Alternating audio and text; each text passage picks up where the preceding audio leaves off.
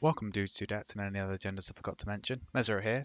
I was going to make regular dev diaries on this mod, but I have instead worked on it for an entire week, so I'll just show you what I've done in the last week. In the background you can hear a music mod I've made. I will probably release this separately from the main mod, just due to the fact that I don't want the mod to be bogged down in size by music, and also uh, the music mod is more likely to get taken down than my main mod. Each of the stones can now be obtained in the respective systems. Power Stone can be obtained in the Morag planet in the system of M31V. Time Stone can be located on Sol 3 in the Sol system. Sol 3 is also a relic world. The Reality Stone can be obtained in the Malekith system on this planet here, which I will not try to pronounce. The Soul Stone can be obtained on Vormir in the Helgenthar system. The Mind Stone can be obtained in the Arch system on the planet Achillean. And the Space Stone can be obtained in Pamar on Halar which is also a relic world. Obtaining each of the stones has dig site events and regular events to go with it. Three of the stones give you unique leaders to go with it, and the space stone also gives you the jump drive technology early, although it isn't actually the jump drive, it's a separate technology. The technology is called Infinity Drive, and it is essentially just a cheaper jump drive. There's also a new relic added called Mjolnir, which once activated, will give you one of those leaders I just spoke about, with a unique trait called Wielder of Mjolnir. Also, as I was doing this, you have event pied for the Infinity Gauntlet. So once you have all six stones, you will get an event to give you the Infinity Gauntlet. The Gauntlet costs 20,000 alloys, and although you actually effectively have it, you have to build it, quote unquote, first. Although it's difficult to demo in this video, once you begin construction on the Gauntlet, the rest of the AIs on the map will form a federation against you to destroy the Gauntlet. If they can take away your capital, whilst you whilst this war is going on, the Gauntlet is destroyed and everything is over. I currently haven't implemented what the outcome of the gauntlet yet, due to the fact that it is very difficult to get that far. But once I have, that'll be the mod basically complete, and I'll upload it. There isn't much more I can show you without spoilers. I will do a video in future spoiling basically all the dig sites if you really care. Obviously, you've seen the stones and you've watched the films. So I don't know how much you can spoil from it. That's basically it for now. Um, once the uh, Infinity War, quote unquote, is done, uh, the mod will be complete and I'll upload it to the workshop. I do need to do a couple of things. For example, if I activate the Infinity Gauntlet, You can hear it does the same effect as me on there. That's because there's a lot of things I haven't been finishing the mod. There's a lot of sounds, a lot of uh, event pictures that haven't been made, so I have to go back through and do all of that. But in theory, once the Infinity War is in, it's basically everything for the mod done. I received a lot of questions from the last video. I will go over them, a few of them quickly. A lot of people were asking for the stones to do these crazy stuff, and my answer to that basically is I kind of want to keep the stones feel like they're from Stellaris, if that makes sense. So I want them to be crazy compared to Stellaris relics, but I don't want them to be like you press a use a stone and you just create a gigastructure or anything. In terms of the stones having effects together, I could implement that, but that's kind of the point of the gauntlet, using all the stones together. Or no, you effect in theory could, but I kind of like think in this context for the game, having the gauntlet is what allows you to use all the stones together. Someone asked me to work with the mod developer for the other mod, which I didn't actually know existed before um, I made the first video, which is nice. So I had a look at his mod, and I have changed some of the stuff in my mod based on his. Uh, for example, originally, if an empire was a puppet, then they had a stone. You, you could declare war on them for the stone, but I decided that that could cause issues, especially if you integrated a puppet. So now I have a puppet as a stone. That stone gets sent to someone else, and it's the same if your nation gets destroyed now. The stone is sent to someone else randomly as well. That's part of basically his mod has a lot of mechanics in it that um, stop problems arising, and that's basically a lot of the stuff I've implemented into my mod based on his. I also modified the snap a little because his code for the snap was a lot better than mine. So the snap actually is a, doesn't crash the game now every time you use it, which is nice. A lot of people ask for events, including certain characters. There are a few. Vision, Thor, and Captain Marvel are three I've implemented currently.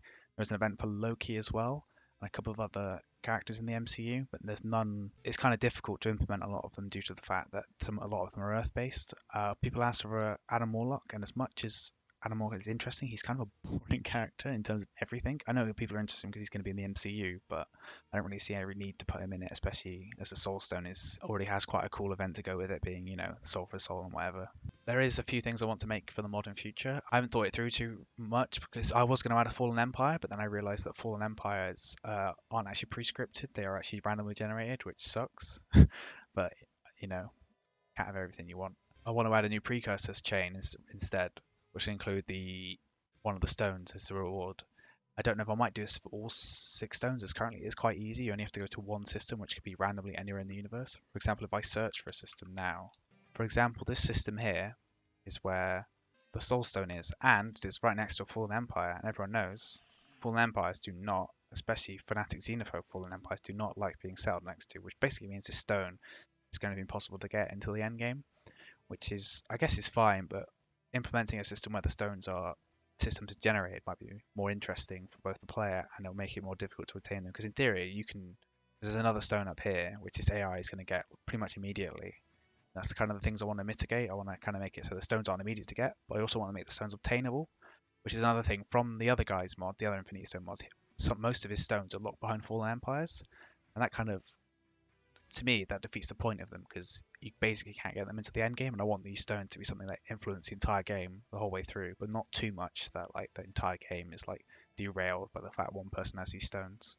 One of the big issues as well with the mod is testing in multiplayer because I only have a shitty laptop to test with, so it's kind of difficult to do test stuff like like this scenario where I had to use my other laptop to allow the AI to move to move into my space using the space stone take my capital basically, and I messed up a bit. So I should have destroyed my station before they arrived. I destroyed my fleets and all that, but not the station. It doesn't matter. They will eventually beat it. It just takes longer.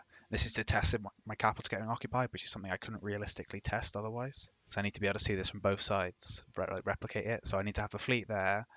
I could have, I guess I could have done it without multiplayer, but it's just easier that way, as I can control both at the same time.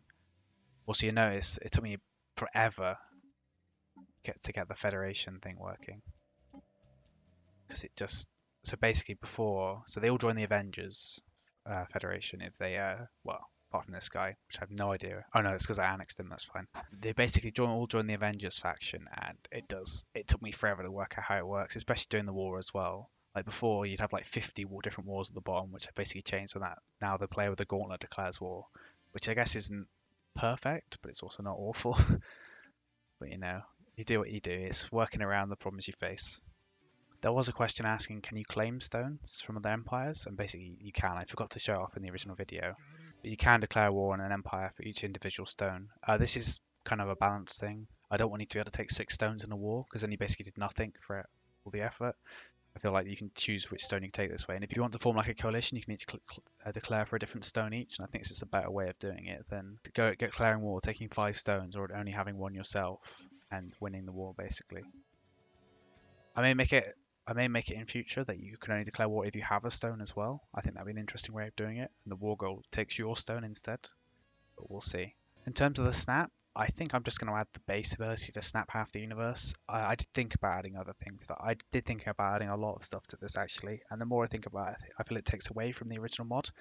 If you're collecting all six Infinity Stones, you want to snap the universe. Let's be honest. You're not really doing it for malevolent means. And if you don't want to snap half the universe, just don't use the gauntlet. But everyone's going to hate you for having it anyway. It doesn't seem realistic to me that someone's going to play the mod, get the six stones, and then not snap, snap half the universe. It doesn't. I, I just it doesn't seem the point. I know some people who'd be like, oh, but I, I want to make sure no one else has the stones. I don't use them myself, and that's fine. But even if you had all six stones, someone else would even would still come for you for the stones, even if you didn't try and snap out half the universe. If that makes sense. Anyway, I think I've rambled on for long enough now. I'm just gonna upload this as it is. So, uh, can't what I said last time. Like and subscribe or something, and leave comments on any other questions you have, or if you disagree with anything I've said in the video. I did basically forget everything I've implemented. I have implemented quite a lot actually. Well, that is one last thing I will mention is that I now understand why it takes Paradox so long to make DLCs. Also, at the same time, you can implement a lot in a short space of time, even if it is a lot of rubbish. I think the biggest time-consuming part is doing the same stuff over and over, because for each of these war goals, I had to duplicate all of the code for them again, and then for each time an empire is destroyed and the stone gets randomly distributed, I have to duplicate all that code again to change some text, and that's quite time consuming. Same for, especially for um, adding all of the uh, dig sites, that takes forever as well, just to write all the text. You have to make up some new bullshit about how the Kree somehow had the space stone or whatever. There's stuff like that that takes forever, and I guess that's why Paradox are so good at what they do because they're so efficient at it. Whereas I'm just a guy sat in my office writing code on the keyboard and crying when it doesn't work.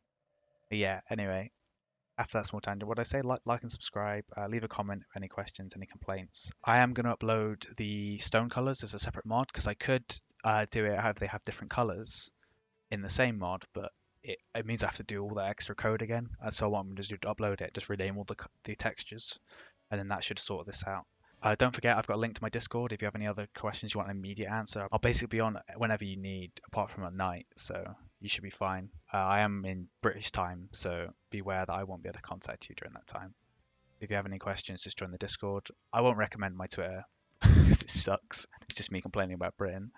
And um, I am going to stream this mod at some point where I just basically do a full playthrough just to test everything before I upload it. I was going to do that today, but I haven't actually finished the mod, so I thought it would be a bit shitty to start streaming it even though I haven't finished it. But yeah, anyway, that's everything. Uh, anything you need is in the description, and if it's not, just leave a comment. and I'll add it to the description.